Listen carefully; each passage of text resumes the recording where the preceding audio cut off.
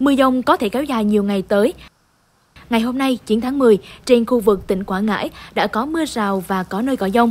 Dự báo trong 24 giờ tới, khu vực tỉnh Quảng Ngãi có mưa, mưa vừa, cục bộ có nơi mưa to và rải rác có dông. Với lượng mưa phổ biến từ 20 đến 50 mm, có nơi trên 70 mm. Trong cơn dông có khả năng xảy ra lốc xét và gió giật mạnh. Đề phòng khả năng xảy ra lũ quét và sạt lở đất ở khu vực vùng núi. Cảnh báo đợt mưa dông này có thể còn kéo dài nhiều ngày tới.